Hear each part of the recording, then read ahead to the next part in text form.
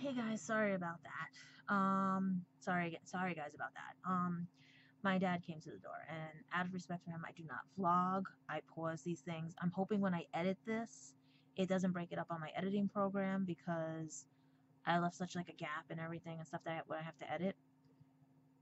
I'm telling you guys right now, this is part of the reason why you don't know me, you don't understand anything.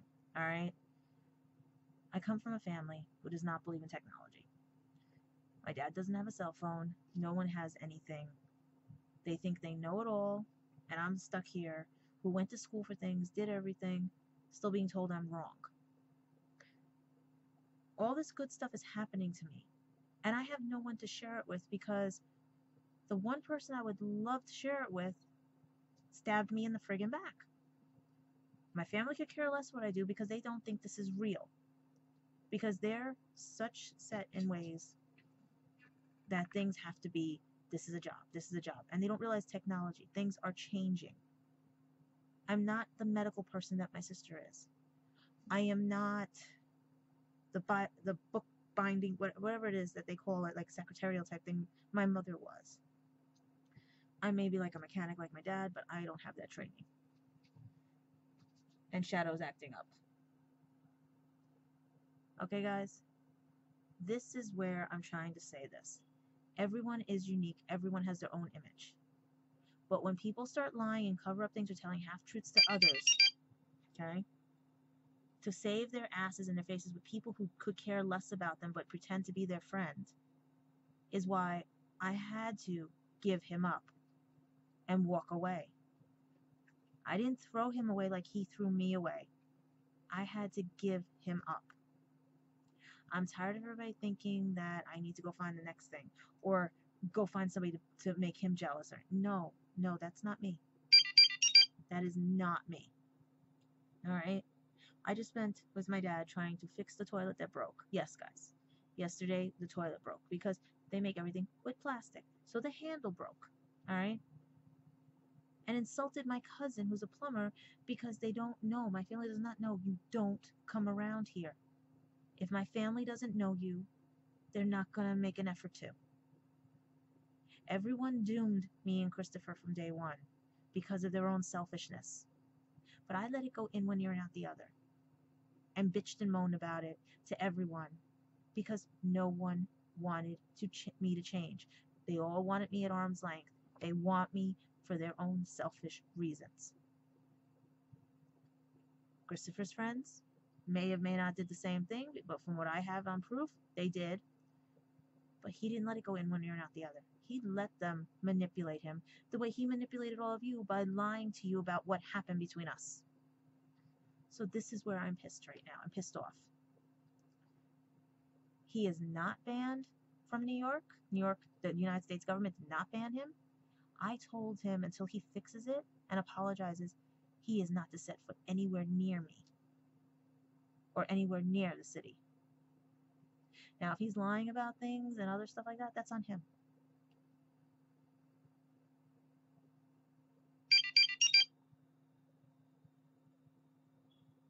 I sit here trying to celebrate what's left of 2016 before it destroys any more lives. Okay? I have to try to add this now to the end of a vlog because I there's no pause button on this camera because like I said, I'm just starting out. I can't afford the equipment to do like everybody else does. I just learned my phone could do that. I have to piecemeal everything. That's why these sit downs are like this. That's why they look grainy because I'm using low tech stuff because I can't afford high tech stuff. And that's okay. But I should not be penalized because I don't have a house. I don't have this or anything. Do you want to crack up laughing? My cousin is, I don't know if he was joking about it, but he said if me and Christopher really were serious about things, he was going to let me pay off the mortgage on his house. And I would have had a house while he moved in with his uncle. Me and Christopher would have had a house. I mean, do, do people not realize how wonderful some of my family is. But then again, no one wants to get to know me. You all want to play your little games and cyberbully and all this other stuff. So here's my thing for this. I am happy tonight because the podcast I'm working for, well, volunteering with right now and everything, is doing very well. Traveling TARDIS is doing good. We're getting a name for ourselves out there. We might not be as big as some of the other ones, but you know what? We're getting there. But to be mentioned in a UK paper or online stuff, that we're to be watched, meaning we're getting good and everything, says something about things. Says something about my life. That maybe I finally found the right bunch of people who actually see the strengths and not my weaknesses. Life is going to get better for me, and I know 2017 will.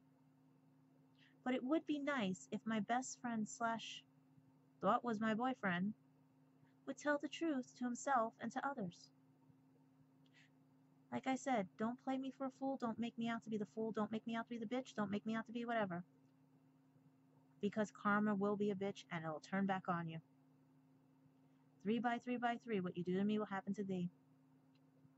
I did nothing wrong to him. I wanted to be the one for him, but I still wanted a fair chance. So, guys, telling you right now this. We have 20 something days left till the new year. I would not want to be spending it alone or spend my Christmas alone, but I have to.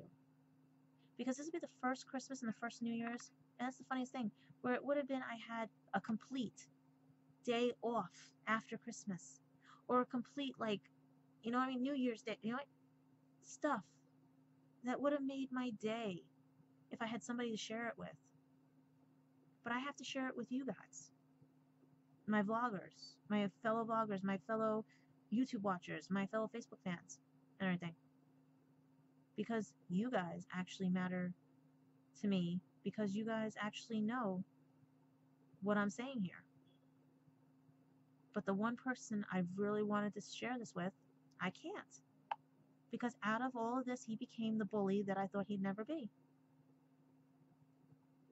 And the, the spoiled brat that he swore he never was. He did see me for me at one time.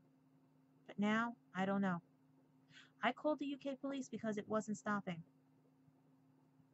I didn't want to have to stop talking to his parents. I just wanted it to stop. I wanted the bullying to stop. I wanted him to stop lying about things. I wanted all of them to stop being two-faced to me and other people. I want them to realize that bullying is not a game, that bullying does hurt, that bullying is a problem, that I shouldn't have overreacted. No, guys, doesn't work that way. Some of you are just getting out of school, you're just getting out of diapers. You don't know what it's like. Take another 20 years on your life and then see what happens. As for me right now, I'm not sort of letting it go because I don't want to see another child punched, hurt, or anything, or cyberbullied this holiday season. So I will not let it go. For someone who told me to forget my past and let it go was the reason I picked that theme for my graduation because everyone kept telling me I would never amount to anything. I would never graduate college. I will never do anything because I'm dumb, stupid, dyslexic. Verbal bullying me. And one person said to me, You mattered. I love you. I care about you. Only to have him lie about it and take it back. How do you think that makes me feel? So I had to give him up. I had to because I loved him too much that I had to give him up. Because in his mind, he's not the person that I met. He's not the person who tried to make it better. He just kept going and going. So I can't let it go. Because there's some things you can't let go. You can only give it up for your own heart and I'm not going to hurt somebody else the way he hurt me. I'm not going to retaliate to get back at him. But to be accused of things that I did not do, say, or even was mentioned about, that's wrong too.